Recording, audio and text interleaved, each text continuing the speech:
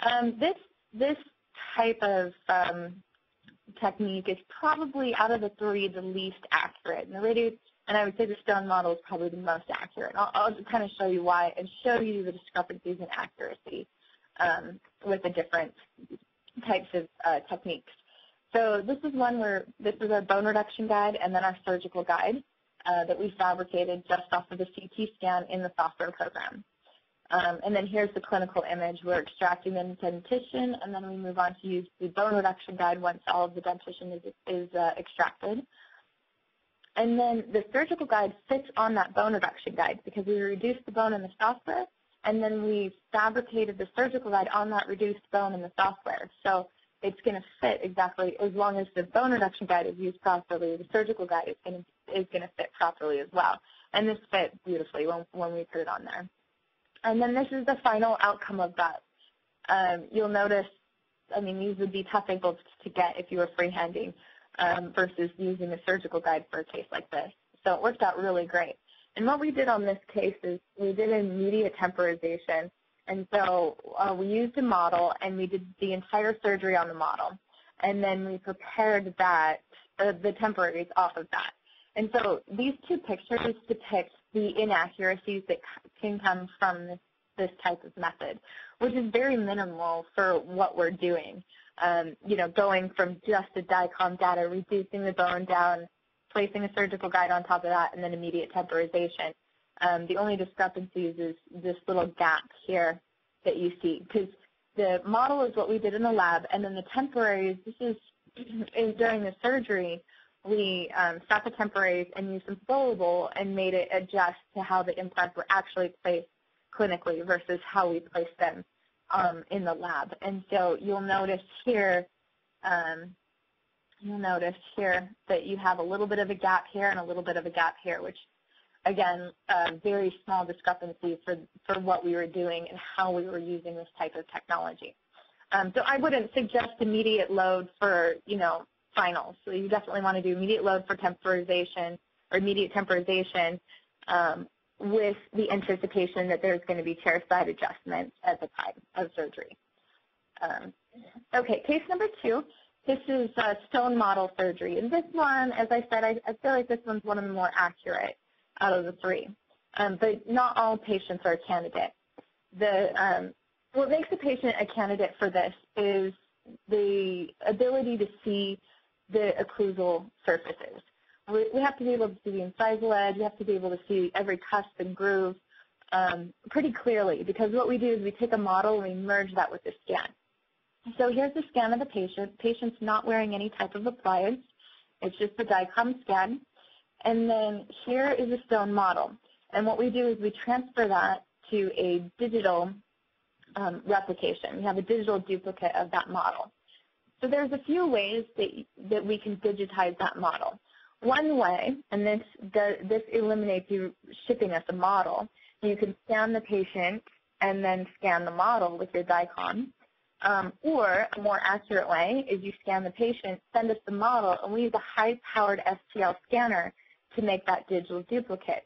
And the reason I say that's a lot more accurate is because when you scan your model on your CT or CBCT machine, then that's subject to the Hounsfield unit threshold as I was discussing earlier.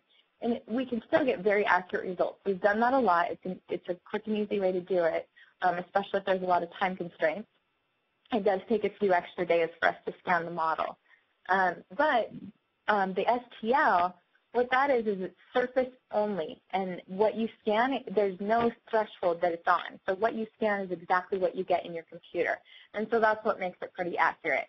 And so we take the original scan, we take the model, and then we merge that those two together, and we create, and then we treatment plan off it and create a surgical guide off of your model. And so this is the final surgical guide for that case. And so that's a really good technique, but if the patient has a lot of dental restoration, there's a lot of noise and scanner at the occlusal surface, then we won't be able to do it that way. Um, but if there's a lot of natural dentition and there's enough natural dentition where we can get enough points to merge it um, accurately, then, then that's a really good option to go with. Um, the last method is our radiographic guide surgery. And this is the most common used radiographic guide surgery, um, or the, the technique. Um, and so what we did, this is a maxillary arch. There's six gutta-percha markers in there. Um, we're doing two implants in the posterior.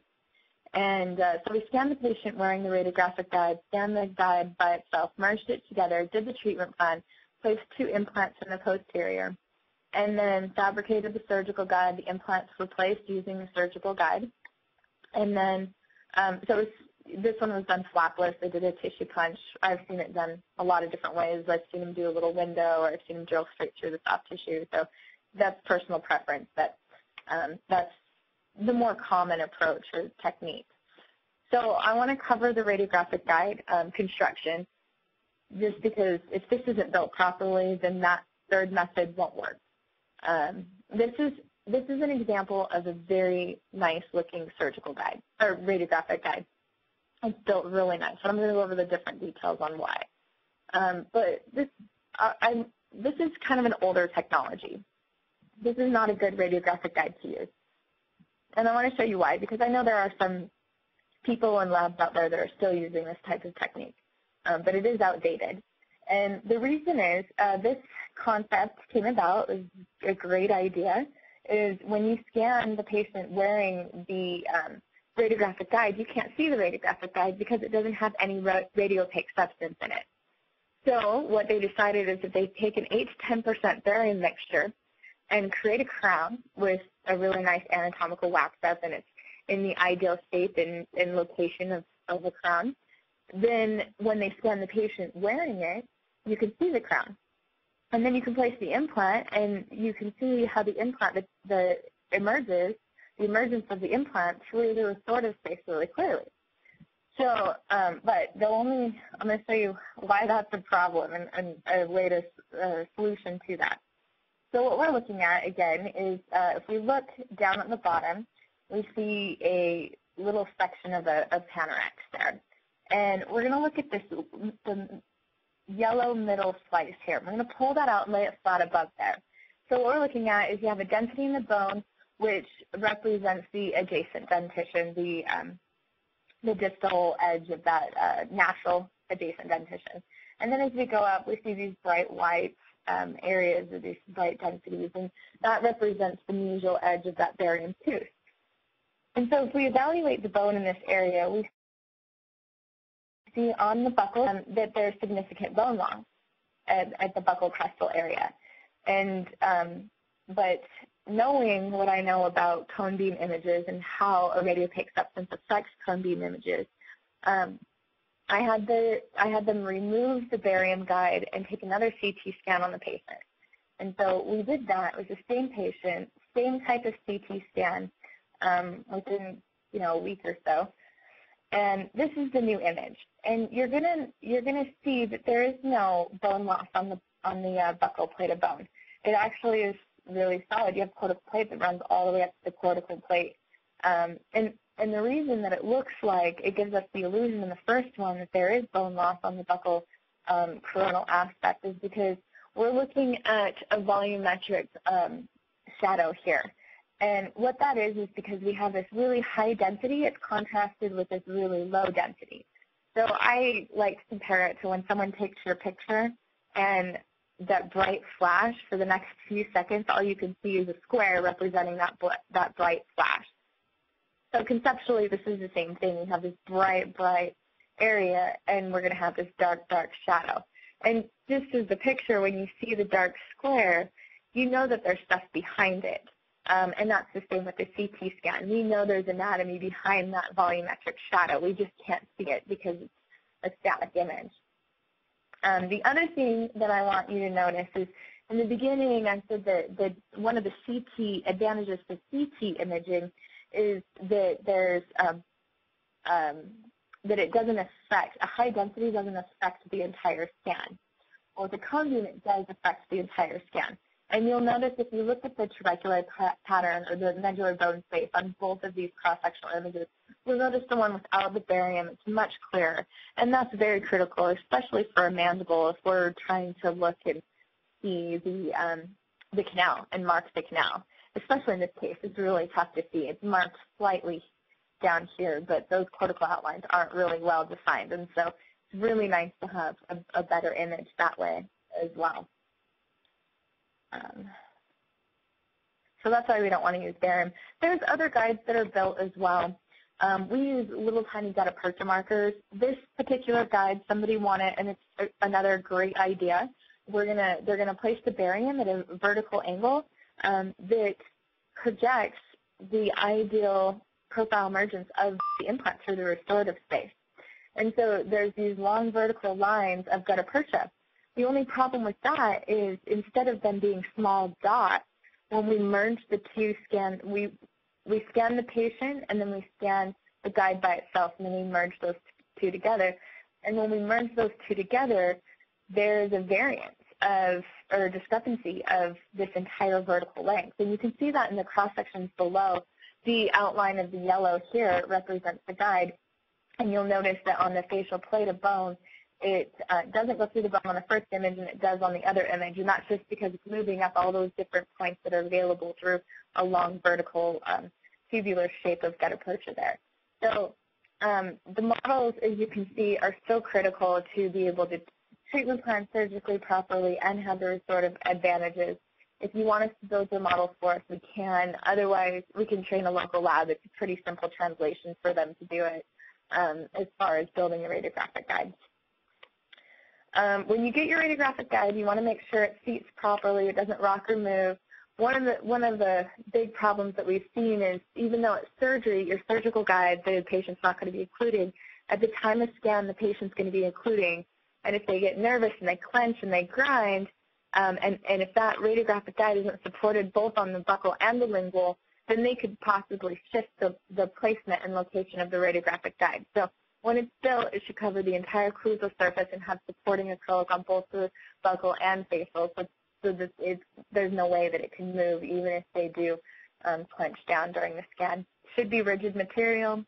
Um, gutta percha marker plates are important. If there are any more, if there's too much in the occlusal area and there's a lot of densities there, they can get lost in the occlusal area and we can't pick them out. So you want a deep lingual flange um, first and then place them right at the bottom in the vestibule area so that we can pull them out pretty clearly.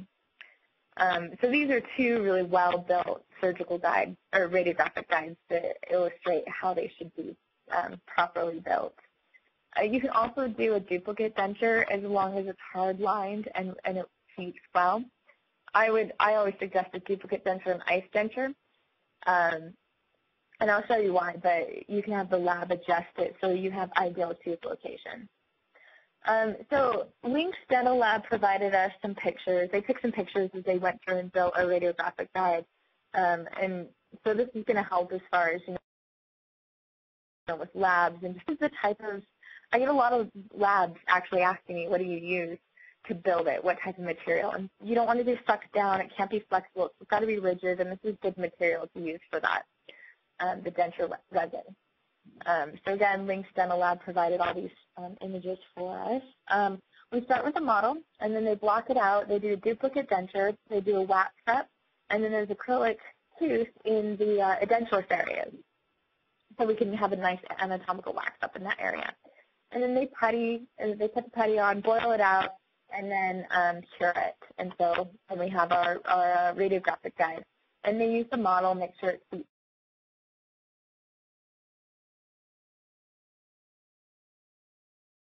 properly and then polish it out. I'm using a one millimeter burr and they drill in one millimeter. And this particular lab used this type of gutta flow, but you can use any type of, um, I would suggest metals, that you could do gutta percha, you could do, I've seen them do it with barium, that works fine. Um, so any type of radiopaque substance in that area. And then this is the final guide. You'll notice that um, you know, they put little holes here so when you seat the guide, you're able to see that it's seating properly. Um, and, you know, sometimes if it's really, there's a lot of restorations and a lot of noise, sometimes it's nice to put in an extra gutta percha marker in case we're not able to see it. So six is the minimum, but, you know, eight